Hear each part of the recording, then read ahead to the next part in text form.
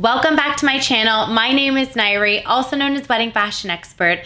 Today we are talking about traveling with your wedding dress.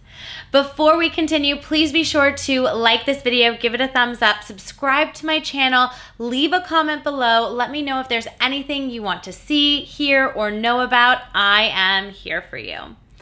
All right, when it comes to traveling with your wedding dress, Obviously, there are so many different ways in which people travel. Perhaps it's by, actually, there aren't that many different ways, but there's your car and an airplane. Those are the two ways in which that are the most common to travel with your dress that we're gonna break down in this video.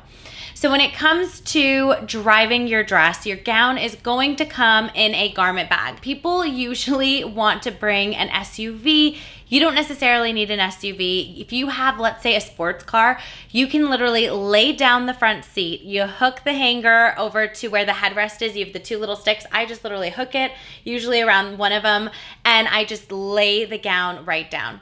Perfectly fine. Don't try to go get a minivan or borrow an SUV to take your car your dress home. It's it's really not a big deal. You can also just lay it down in the back seat, in the trunk, all good to go.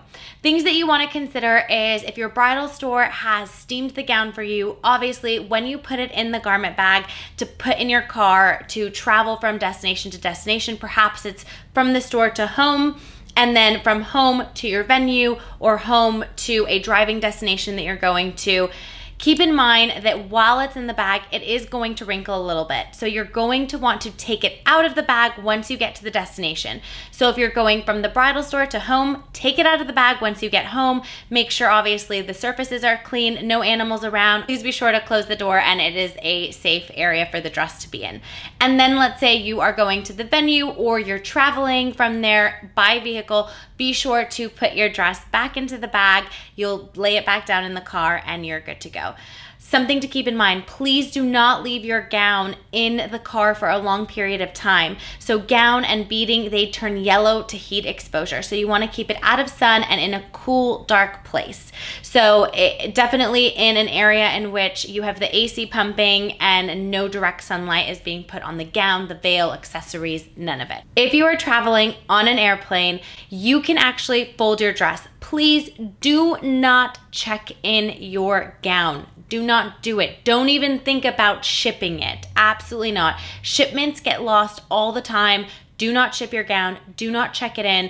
It, I've had brides that have come to Lovella, and I don't even know why I'm smiling for this, but I have had brides that come into Lovella four days before their wedding and they checked in their dress and it's gone. So we literally have to, they have to purchase a sample gown, get it altered, and make it ready for them to walk down the aisle And It's a nightmare. Do yourself a favor, no checking, no shipping.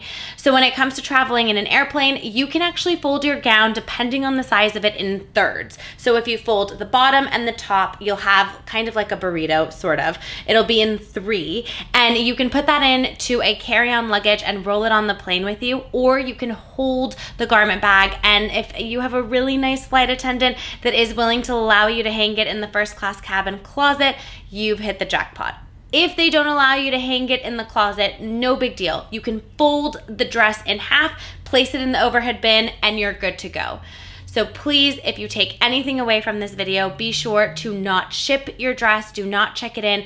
Keep it in a dark, cool place while storing it. You don't want it to turn yellow or tarnish any of the beading on any of the items that you're wearing on your wedding day. Do not let it out of your sight. For more videos like this, please be sure to tune in and I will catch you in the next video.